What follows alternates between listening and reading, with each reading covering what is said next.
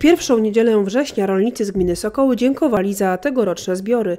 Świętoplonów tradycyjnie rozpoczęto od nabożeństwa dziękczynnego w Bazylice w niebowzięcia Najświętszej Maryi Panny. Następnie dożynkowy korowód przeszedł na plac przed Centrum Wystawienniczo-Targowym, gdzie wójt gminy Sokoły Józef Zajkowski powitał gości i miejscowych rolników. Oddaję hołd spracowanym rękom polskiego rolnika. Tym rękom, które z trudnej, czarnej ziemi wydobywały chleb dla kraju, a w chwilach zagrożenia były gotowe tej ziemi strzec i bronić.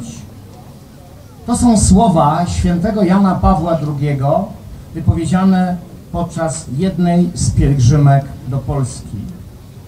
I jeszcze jeden cytat.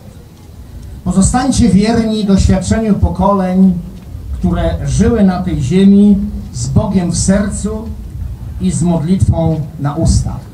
To jest również cytat świętego Jana Pawła II, zgodnie ze słowami świętego Jana Pawła II jesteśmy my, samorząd gminy Sokoły, wierni tradycji i doświadczeniu pokoleń.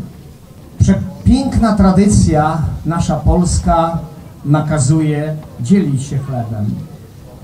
My, jako samorząd gminy Sokoły, chcemy dzielić się chlebem ze wszystkimi mieszkańcami naszej gminy i gośćmi. Niech to dzielenie chlebem stanowi wyraz, że stanowimy jedną, zintegrowaną wspólnotę. Niech nigdy nie zabraknie chleba nikomu w naszej z naszej gminy, regionu i naszej umiłowanej ojczyzny. Jeszcze raz dziękuję naszym rolnikom i wszystkim, którzy współpracują z rolnictwem, że ten symboliczny bochen chleba mógł powstać. Wicepremier Sasin, który był gościem honorowym dożynek w Sokołach, mówił o charakterystycznym dla rolników, także z naszego regionu, przywiązaniu do tradycji i wartości chrześcijańskich. Zwrócił on także uwagę, że Podlaskie ma ogromny potencjał, ale cały czas potrzebuje wsparcia, tak aby dogoniło bogatsze regiony Polski. Przede wszystkim e, zwracam się do Państwa, do mieszkańców e, Soku, gminy e, Sokoły. Dzisiaj można powiedzieć radosny dzień, bo radosny dzień związany z dożynkami, ze świętem plonów, e, z świętowaniem tego, co jest kwintesencją od wieków, można powiedzieć, życia i pracy w, na polskiej wsi. Muszę powiedzieć, panie wójcie, że kiedy pan mówił, że się pan cieszy, to ja się cieszę jeszcze bardziej, jak widzę, że Polska się rozwija że ta Polska lokalna przede wszystkim, która przez e, bardzo wiele lat była gdzieś poza tymi głównymi zainteresowaniami kolejnych ekip rządzących, ta Polska lokalna, która oczekiwała na to zainteresowanie, oczekiwała na swoją szansę, dzisiaj tą szansę może realizować. Województwo podlaskie to w dalszym ciągu, mimo starań, jakie od prawie 7 lat prowadzi rząd Zjednoczonej Prawicy, Prawa i Sprawiedliwości, to w dalszym ciągu jeden z najmniej zamożnych obszarów regionów naszego kraju i całej Unii Europejskiej. Województwo podlaskie to zaledwie 56% średniej zamożności Unii Europejskiej. E, wielkie są różnice rozwojowe w naszym kraju.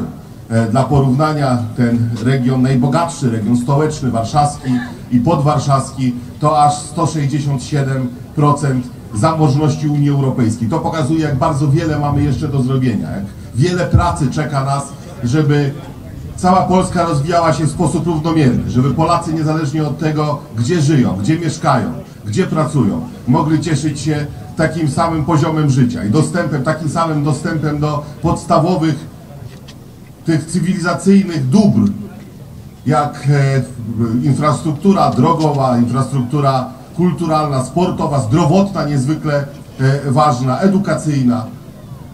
Nad tym wszystkim pracujemy, żeby tak było. Pracujemy, ale nie tylko o tym mówimy, ale działamy, bo przecież Pan Wójt, mam nadzieję, to potwierdzi. Ponad 30 milionów złotych trafiło do gminy Sokoły w ramach e, programów rządowych, Rządowego Funduszu Inwestycji Lokalnych, e, Programu Inwestycji Strategicznych w ramach Polskiego Ładu czy Funduszu Dróg Samorządowych. Zgadza się. Dziękuję To bardzo za to prawda. potwierdzenie. Brawo. Dziękujemy. W wystąpieniach gości nie mogło zabraknąć nawiązania do sytuacji za naszą wschodnią granicą i obaw związanych z rynkiem żywnościowym. Wiceminister Rolnictwa i Rozwoju Wsi Lech Antoni Kołakowski zwrócił uwagę, że w dobie kryzysu spowodowanego wojną na Ukrainie, dzięki rozwiniętemu rolnictwu Polska nie musi obawiać się głodu. Mówiąc o trudzie rolnika, musimy odnieść się też do dzisiejszych wydarzeń. Wojny na Ukrainie, spekulacyjnych cen na giełdach światowych produktów żywnościowych i o naszym państwie, o tej trudnej sytuacji wodorów, w szczególności gazu, który powoduje wzrost cen nawozów sztucznych, kosztów produkcji. Ale chcę Państwu jedno przekazać. Mieszkamy na terenie najlepszego rolnictwa polskiego, być może nawet europejskiego. Tu są dobrzy rolnicy, ale podstawą rolnictwa jest hodowla. Tam, gdzie jest hodowla, w szczególności hodowla bydła, inne negatywne skutki nie będą tak bardzo dopiekać rolnikom. Tu chodzi o nawozy organiczne. To jest szansa dla polskiego rolnictwa. A chcę powiedzieć, że zapewnić Państwa, że jesteśmy krajem, który ma zabezpieczenie żywnościowe jako jeden z nielicznych, jedno z nielicznych państw. Rzeczywiście żywności możemy wyprodukować dwa razy tyle niż spożywa nasze społeczeństwo. W ubiegłym roku wyeksportowaliśmy na ponad 40 miliardów euro polskiej żywności, która na rynkach światowych jest poszukiwana ze względu na to, że jest zdrowa i o wysokich walorach smakowych. Jest poszukiwana. Jest to szansa polskiego rolnictwa. Chcę też powiedzieć, wychodzę też naprzeciw ewentualnym pytaniom, w gospodarstwie rolnym, jak nie w magazynie, czy tym przysłowiowym spichrzu, jak nie zboże, to zawsze powinny być nawozy. To jest gwarancja bezpieczeństwa. Zebranych plonów gratulowali rolnikom także poseł Stefan Krajewski, wojewoda podlaski Bogdan Paszkowski i senator Mariusz Gromko. Drodzy rolnicy, szczególny czas dożynek, czas, kiedy pragniemy Panu Bogu podziękować za zebrane plony, prosić o dalsze błogosławieństwo, ale też podziękować wszystkim rolnikom. Z tego miejsca chcę Wam bardzo serdecznie podziękować za Waszą ciężką pracę. Od świtu do nocy, przez 365 dni w roku pracują całe rodziny na to, by gospodarstwa mogły się rozwijać. Dziękuję za to skuteczne pozyskiwanie środków. Od momentu, kiedy weszliśmy do Unii Europejskiej, te środki wykorzystujecie bardzo dobrze. Rozwijacie swoje gospodarstwa, choć tej pracy macie coraz więcej niestety. Ale to rolnictwo też wymaga dalszego wsparcia. Dobrych kredytów preferencyjnych, wakacji kredytowych, bo przecież inwestowaliście, macie dzisiaj te zobowiązania, które trzeba spłacać. I tam, gdzie jest problem, musi być takie rozwiązanie. Natomiast europoseł Krzysztof Jurgiel, który w Parlamencie Europejskim zajmuje się m.in. polityką rolną, zauważył, że zarówno samorząd województwa, jak i obecny rząd przyjęły politykę zrównoważonego rozwoju tak, aby poziom życia obszarów wiejskich, mniej zamożnych, dorównał tym bogatszym. Dotyczy to również możliwości, jakie dają fundusze europejskie. Ja chciałem pozdrowić przede wszystkim wszystkich rolników, mieszkańców gminy Sokołów, a także zaproszonych gości. Mam zaszczyt reprezentować nasze województwo w Parlamencie Europejskim, dlatego chciałem powiedzieć, że zajmuję się tam rolnictwem, rozwojem obszarów wiejskich, a także polityką rozwoju i te moje doświadczenie, które zdobyłem jako poseł, jako minister, staram się przełożyć na polityki, które są uchwalane w Parlamencie Europejskim, a więc wspólna polityka rolna czy polityka spójności. To właśnie z tych środków polityki spójności, wspólnej polityki rolnej rozwijają się innymi nasze miejscowości. To choćby przyjęte w kontrakcie programowym dla województwa podlaskiego utworzenie Podlaskiej Strefy Zrównoważonego Rozwoju o wartości 15 milionów euro, gdzie powstaje tzw. rolnicza Dolina Wodorowa. Instalacja ma dostarczyć paliwo wodorowe do gospodarstw rolnych i domowych. Jest to 15 milionów euro jako projekt strategiczny w nowej perspektywie finansowej właśnie na to przedsięwzięcie. No już e, zarówno samorząd województwa podlaskiego, jak i też e, ministerstwo zaakceptowało. E, czekamy teraz na stanowisko Komisji Europejskiej, ale myślę, że będzie wszystko dobrze i będziemy mogli się cieszyć właśnie z takiej przy inwestycji tutaj w Sokołach. My jako samorząd województwa podlaskiego mamy dużo pomysłów, jeśli chodzi o miejscowość Sokoły. To jest ta podlaska strefa zrównoważonego rozwoju, e, wykorzystanie wodoru tutaj na miejscu, ale też i wiele, wiele innych przedsięwzięć, choćby takich jak e, budowa obwodnicy e, Soku, bo to jest też bardzo istotne.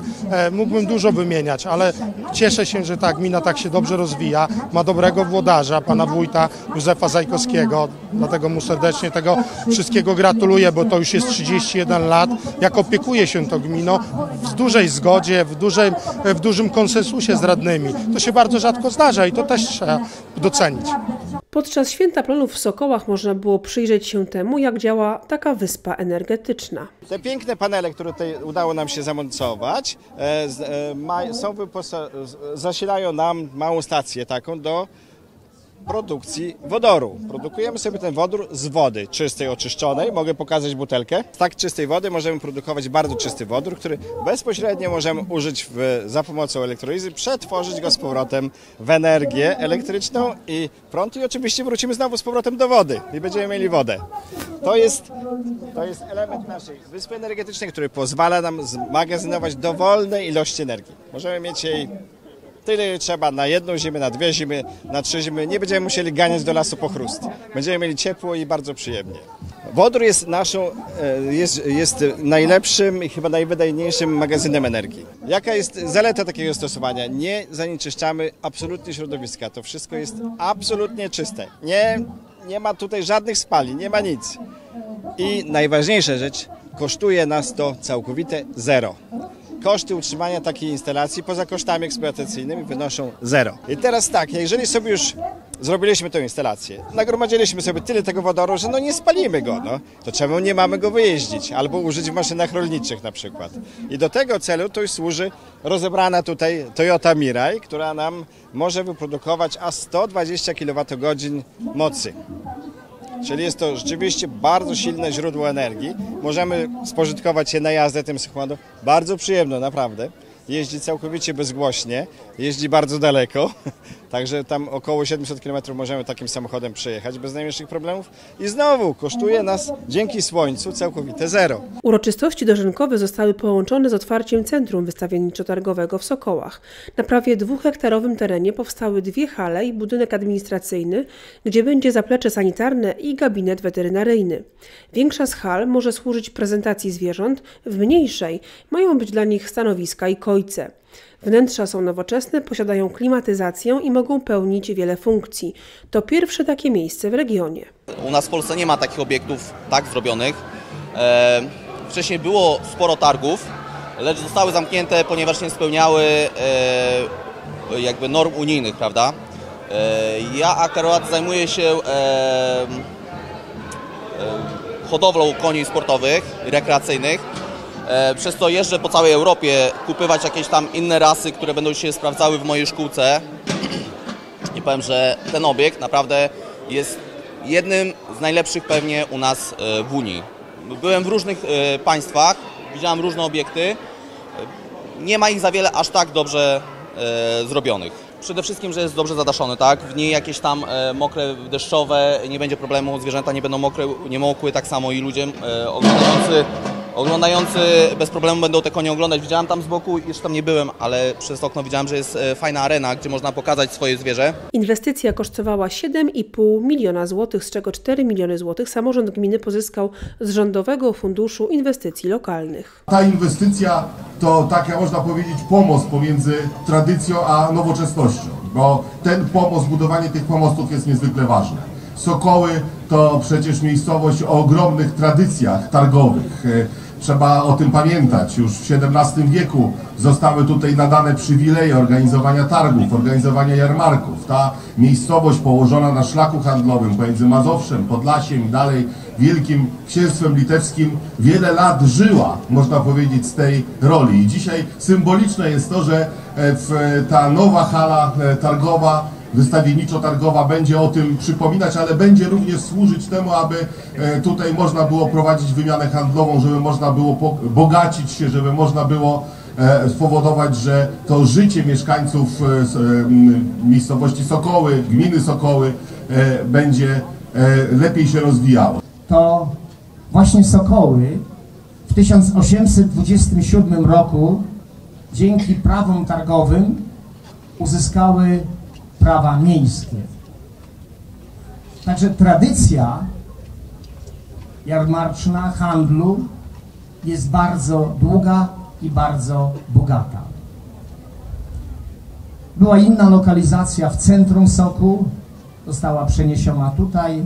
Powstały programy, które regulowały sprawę pomocy dla funkcjonowania, dla modernizacji targowisk.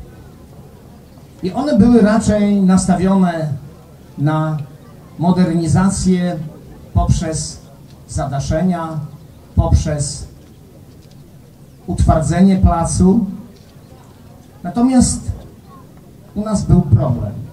Od kilku la, kilka lat temu z Zambrowa do Soku przeniósł się handel bydłem. Czwartki. Bardzo znaczny. Około dziennie nawet do 500 sztuk. I przez kilkanaście tygodni tutaj miało to miejsce, z czego się bardzo cieszyliśmy. Ale po wybuchu ASF-u niestety musieliśmy zamknąć. Obiekt nie spełniał wymogów rozporządzenia ministra rolnictwa z 4 stycznia 2008. I bardzo nad tym ubolewaliśmy, że nie może być kontynuowana funkcja handlu zwierzętami. I zaczęliśmy się zastanawiać, czy jako samorząd jeszcze poprzedniej kadencji, czy ograniczamy się tylko do funkcji handlowych, budując wiaty, budując ewentualnie zadaszenia, ale doszliśmy do wniosku z Radą poprzedniej i tej kadencji, że musimy znaleźć szerszą funkcję, żeby te wymogi zostały spełnione. Udało nam się naszemu samorządowi wybudować obiekt, który nazywamy Centrum Wystawienniczo-Targowe w Sokołach. I też dziękujemy Bogu i ludziom dobrej woli, że ten obiekt jest, rozpoczyna służenie ludziom, a szczególnie rolnikom. Podczas dożynek w gminie Sokoły obecni byli też m.in. przedstawiciele duchowieństwa, przedsiębiorcy branży rolniczej, lokalni samorządowcy i rolnicy z całej gminy. Koła gospodyń wiejskich przygotowały stoiska z lokalnymi przysmakami. Na najmłodszych czekały dmuchańce, były przejazdy bryczkami i dużo tanecznej muzyki.